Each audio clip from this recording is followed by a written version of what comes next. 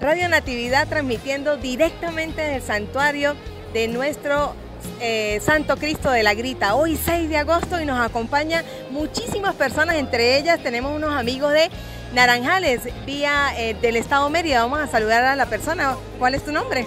Hola, yo me llamo Lisbeth Araque, venimos de Los Naranjos, el Vigía Estado Mérida.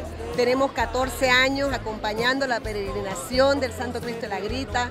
Muchos milagros en mi familia, emocionados porque bueno, ya este año pues Dios nos permitió nuevamente volver a estar acá reunidos. ¿Están llegando aquí al santuario ahorita o llegaron Llegamos anoche, anoche llegamos y pues nos quisimos quedar acá en el santuario para ver la hermosa serenata que dieron anoche. ¿Cómo se trasladaron? ¿A pie, en carro?